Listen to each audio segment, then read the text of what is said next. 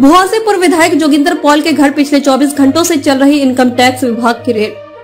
Red के दौरान पूर्व विधायक की तबीयत हुई खराब। निजी अस्पताल में कराया भर्ती। पिछले दिनों हुआ था प्रोटेस्ट का ऑपरेशन। विधायक के साथ साथ विधायक के करीबियों के घर में भी इनकम टैक्स की रेड जारी।